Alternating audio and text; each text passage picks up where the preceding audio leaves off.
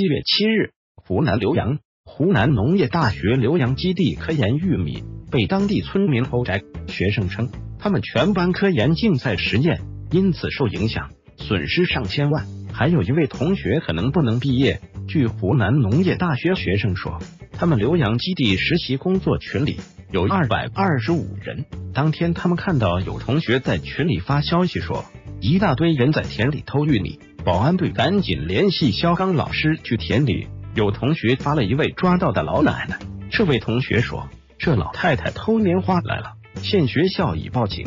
对于湖南农业大学浏阳基地科研玉米遭当地村民偷窃事件，电话采访了湖南农业大学学生。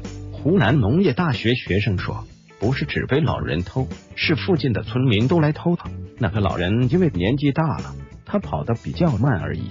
所以才被抓到的，因为这些科研玉米本身就是我们一个班级参加的一个科研竞赛的实验，他们偷了我们整个一个班级的实验就没有了，而且这个实验里面还夹杂着我们班一个同学的毕业设计，就是他毕业论文的内容，然后他现在毕业就成了一些问题，受了影响。除了毕业受影响，经济损失也有，因为老师说这个科研玉米是原种。